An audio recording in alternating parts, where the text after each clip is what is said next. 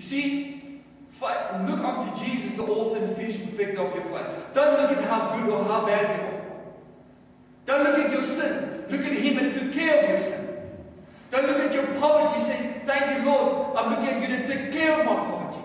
Don't look at how this business deals, whatever. No, Lord, I'm looking at you because you've already settled this business. Where is your focus? Where is your focus, people? But Lord, I've died and I've given and I've lived and I still don't see nothing. Where's your focus? The tithe? I love tithing and giving. But is that your focus? Then stop tithing. Hmm? You see what I'm saying? Where's your focus? Jesus, I honor him. Lord, I love you. So that's why I tithe. That's why I give. That's the difference. We spoke about yesterday. Heart attitude. How many people tithe and give, they see no prosperity. A lot of people tithe, they see no prosperity. Oh, give, give, I see nothing. Like it's some lips here and there and there.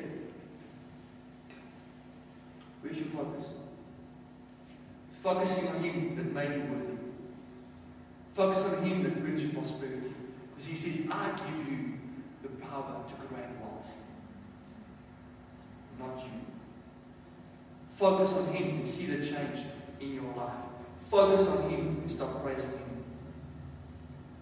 See, also one of the biggest things as well, I didn't say, is that as well, is also praising Him.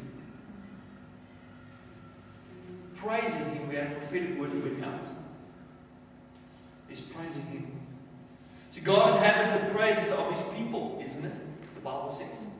You see, when you already praise God for your breakthrough, He's inhabiting, inhabits, He inhabits it already for you, so you can take it because you believe Him in advance for it. He preoccupies it for you for safekeeping. In other words, He says, you know what? You praise God already for the breakthrough rest to here. Lord, I'm praising for it. That's fine. And says, because you inhabit the praise of His people, He says, I will go before you because you believe me. So I'm occupying it. I'm saving for you till the time comes to give it to you. Isn't that right? What happened to in, in Jehoshaphat? The praise people went before the people, and then what happened? The people got slain and killed. They went, his praises went before people. So we start praising the guys up before, and God is there giving you victory in the camp. So the time comes and you come and that God destroys and then you come after this and you take the plunder and the spoils. Isn't that right? Isn't it right? But people murmur and complain. What does God do? Wipe them out. Go and read Numbers 11. You know, hectic stuff. Thank God for His grace, you know. Because He was not a mediator. Moses sort of, but the true mediator was Christ. You see, we need to also praise God continuously. Through our motivation, through everything. We need to praise God. Praise Him when it's going good. Praise Him when it's going bad. Him when you get a bad report. You know how many people come to businessmen and say, I just had a bad It doesn't look like I'm gonna, this deal's going to go through. I said, that's what they think and that's what you think. Start you start changing your mind and see what God will do for you. You know, pray and say, God says so and so and so, then it happens. But if I didn't change him to that, to change his mind and the way he thinks, the way he acts, these things would have happened very badly. So I start praising God for your breakthrough. Start seeing what God is seeing. Start receiving what God tells you to receive. All things are possible. You can receive anything, people. Like the other day I was praying and stuff, and God showed me my Bentley in my, in my driveway. But is it the season for my Bentley now? No, I know that. Is a season for certain things? No, but I, I keep that vision before me. That's why we write this, this stuff down here. Put this vision on the tablet, make it plain so he that sees it will run with it. It will not tarry, but wait for it. So that's why we write this stuff down. To remind us. And to see how God's coming through for us.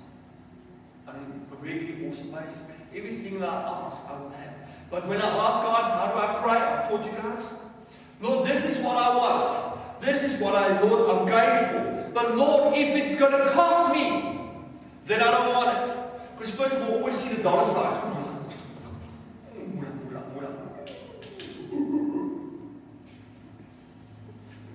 But then it costs us at the end of the day. So Lord, this looks good, the deal looks good, Lord. But I pray, Father, if I've missed it, Lord, you'll quickly correct me. And God was, you'll have nothing. You just keep on going, keep on going. And soon, it, almost when the deal is closed, it just falls apart. Something happens. And you say, ah, I say, oh, it never happened remember what you prayed. See, because whatever you ask, you will have. So be careful what you ask for. Might be a lot of money, but might get it with a lot of sorrow. Be careful for that as well. Pray with wisdom and understanding. Ask with wisdom and understanding. Because you can, whatever you ask, you will have. So be careful what you ask for. Because God is very, you know, I can show you some examples in the Bible. You know, people ask the wrong stuff, they got the wrong stuff. They thought it was the right stuff, but they got the wrong stuff. Lot. But what then? Cost him, you know. People, I want the king, I want the king. Gave it Saul. Saul came, messed up. Two examples this morning. So guys, this morning, I hope guys stirred a little bit, got something this morning. It's not me preaching this morning. We are standing in agreement here this morning. Well, visit as well. Um, just give them some pamphlets and stuff as well. What I want you to do, because we got some visits here, is that you write down what you desire of the Lord. There's a pamphlet there. You write down your needs. You say, Lord, I need this visit to come. Lord, or Lord, I thank you for this. Lord, this is what I'm asking. This is what I ask. This is what I ask. Whatever you ask, you will have. So you put it there on Lord, and I promise you can actually make a duplicate, and you see God's going to come through for you. Visitors, we have these people write us down all the stuff when this ministry comes to pass. I promise you, everything comes to pass when we pray in this place. Because there's unity. So, Lord, I need seven billion rand to get through this. What? You can ask that. You said you can't. Start. Ask big, receive big. Ask small, get small. Ask amiss, you a amiss. So ask now what you want, you desire. Lord, I want an income of 50,000 rand a month. Lord, I would like my debt to be settled. Lord, I want, you know, the prophetic word went out, you know, for the businesses will grow 200%, so we're starting to happening. So we're starting at 200% increase in the business in the month on month in this ministry. It's really starting to happen. Amen.